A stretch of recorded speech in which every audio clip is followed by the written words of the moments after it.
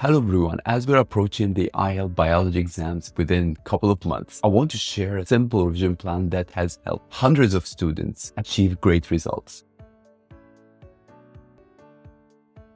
As you probably know, almost half of the exam paper requires skills that need time to develop. For that reason, aim to be done with the syllabus within five weeks before the exam, four weeks to practice exam paper and develop those skills, and another week to do mocks and do the final revision for your exam.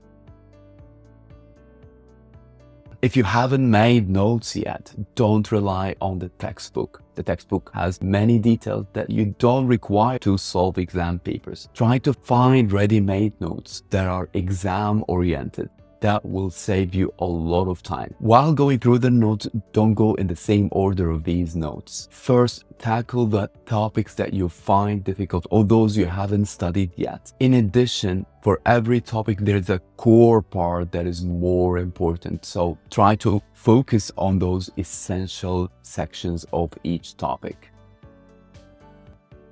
I prepared an interactive checklist of the specification. I strongly recommend that you use it during your preparation. This will ensure that you have ticked off all the parts of the syllabus and you did not miss any of them. I've also highlighted the key terms for you. Those key terms are important because they will help you to build your answers around them. Set realistic targets on weekly basis to study a specific number of chapters or to solve a number of exam papers. Review those targets every weekend just to make sure that you're still on the right track. When solving exam papers, quality is over quantity. Don't aim just to solve as many exam papers as possible, but instead solve certain exam papers, mark your answers, and color code the questions in three types. Those that you couldn't solve in red, those you already know in green, and those that require revision in orange. Those exam papers will become your custom-made study guide based on your needs that you'll use in the last week before your exam.